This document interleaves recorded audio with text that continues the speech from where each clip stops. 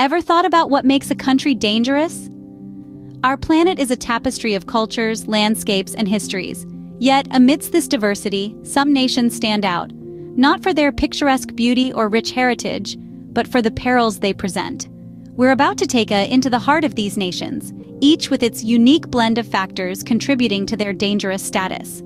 From regions scarred by the relentless drumbeats of war, to lands grappling with political instability and rampant crime, we will uncover the truths that lie beneath the surface. We'll explore the intricate puzzle of why some places on our planet are fraught with danger, while others flourish in peace. We'll unravel the complexities, the causes, and the consequences, so buckle up and prepare for an insightful journey. Let's delve into the mysteries and unveil the enigma of these perilous nations. Embarking on our journey with the 10th most dangerous country, Afghanistan. A land where the shadow of war has loomed large for decades, Afghanistan's narrative is one painted with the brushstrokes of conflict and strife. The constant hum of unrest, fueled by the presence of militant groups, reverberates through the hills and valleys of this rugged nation. This has created an environment where uncertainty is the only certainty, and danger, an unwelcome but constant companion. Adding to this volatile mix is the indelible impact of foreign interventions. The great powers of the world have left their footprints in the sands of Afghanistan, each intervention a chapter in its tumultuous history. These actions have not only shaped the country's present, but will continue to influence its future.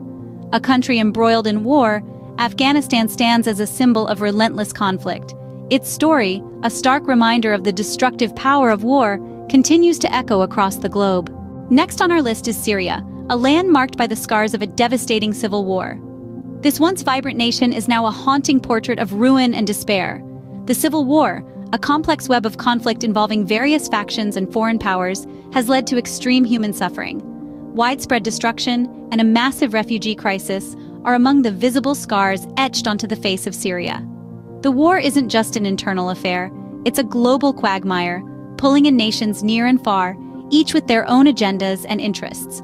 This international involvement only adds more layers to the already convoluted conflict, making it harder to untangle. And while the world watches, Syrians are caught in the crossfire, their lives forever altered by a war that seems to have no end.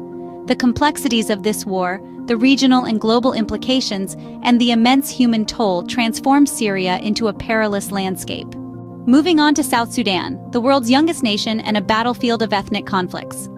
Emerging from the shadow of Sudan in 2011, South Sudan was born amidst high hopes for peace and prosperity. Yet it quickly descended into a maelstrom of violence and political rivalries. Ethnic tensions, amplified by political power struggles, have ignited a cycle of violence that seems to have no end. The nation's struggle for peace is a dance between progress and setback, between hope and despair. Attempts to establish a stable government have been thwarted by infighting and corruption. Resources that could be used to build infrastructure and provide essential services are instead consumed by the ongoing conflict, the world watches as South Sudan grapples with these enormous challenges. Caught in a tug of war between its past and its potential, the country's quest for peace is a journey filled with obstacles. A nation in its infancy, South Sudan's struggle for stability is a daunting challenge. Yemen, often termed the Forgotten War, is our next stop. This Arabian Peninsula nation is embroiled in a conflict with deep regional implications. It's a war that involves not just Yemen's own factions, but also powerful regional players, creating a volatile mix of alliances and interests.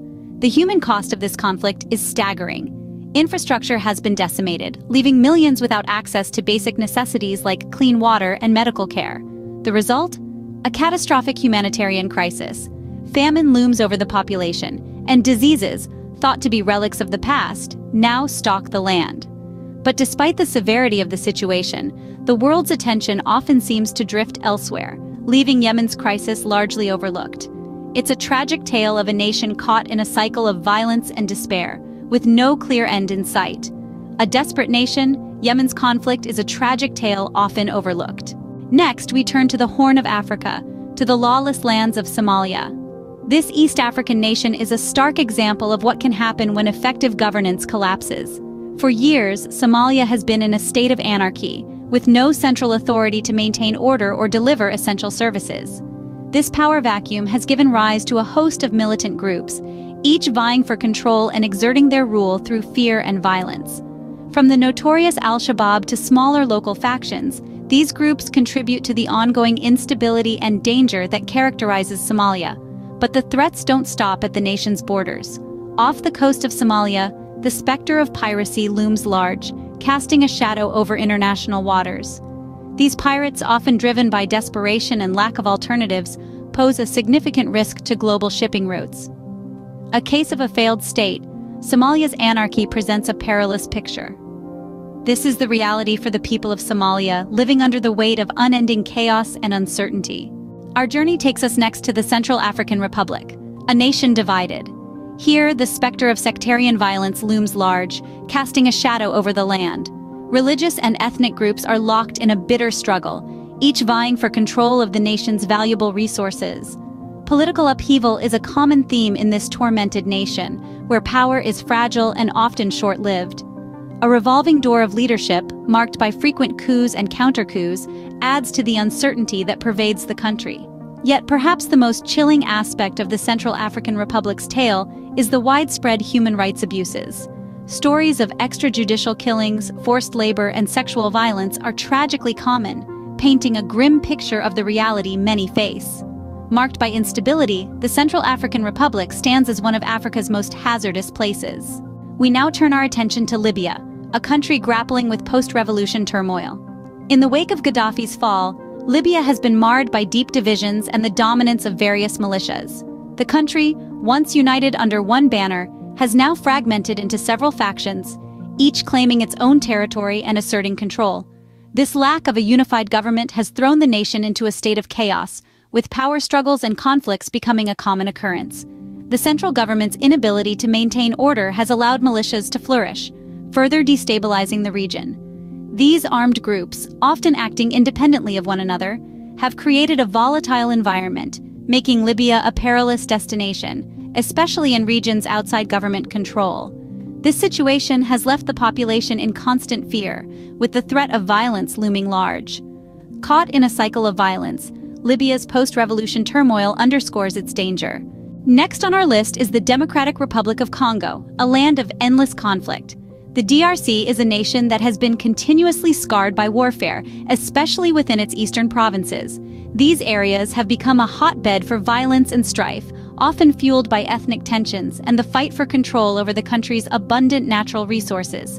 The battles, however, extend beyond the human realm. The DRC is also a battleground against nature, fighting deadly disease outbreaks like Ebola.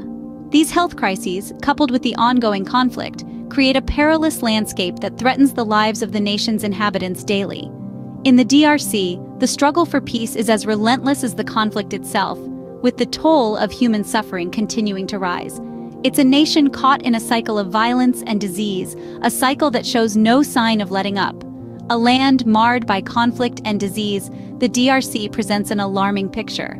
We now venture into Iraq, a nation dealing with the aftermath of war. Iraq's landscape is marked by the echoes of past conflicts, a chilling reminder of its turbulent history. Sectarian violence, an insidious legacy of these wars, continues to fester, unearthing deep-seated divisions among its culturally diverse population. This discord has often spilled over into the streets, painting a picture of an unsettled nation. Yet the specter of terror remains the most daunting challenge. Despite the fall of ISIS, the threat of terrorism lingers, casting a long shadow over Iraq's future. With extremist ideologies still finding fertile ground, the country remains on high alert.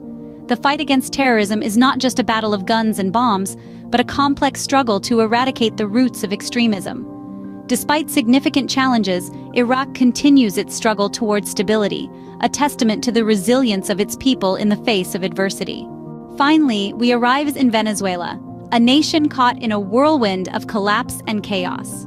Once one of the wealthiest countries in South America, Venezuela has seen a rapid and dramatic decline in its fortunes. This downfall is largely due to a combination of political mismanagement and corruption, leading to an economic collapse that has had a devastating impact on the lives of its people. The country's economy has been in a freefall, with hyperinflation rendering its currency virtually worthless. This economic turmoil has led to significant social unrest, as citizens struggle to afford basic necessities. Crime rates have soared, as desperation pushes people to extreme measures. a severe humanitarian crisis has unfolded, with shortages of food, medicine, and other essential supplies. The political landscape is no less tumultuous, with power struggles and widespread corruption exacerbating the situation. Caught in a vicious cycle of turmoil, Venezuela tops our list of the most dangerous countries in the world. Thank you for joining us on this journey through the world's most dangerous countries. Each scene we've explored paints a picture of human struggle, resilience, and the urgent need for change. Yet, amidst the chaos, there are stories of hope, of individuals and communities striving to make a difference. We encourage you to share your thoughts and comments on this video. What can we, as global citizens, do to help these countries rise from the ashes of conflict and chaos? How can we lend our voices to those who are often unheard? If you found this video insightful, please consider subscribing to our channel for more content that seeks to enlighten and inform. Together we can foster a community that is not just aware of global issues, but is also committed to making a positive impact. Stay safe, stay informed, and remember, even in the darkest corners of the world, there is always a beacon of hope. We'll see you in the next video.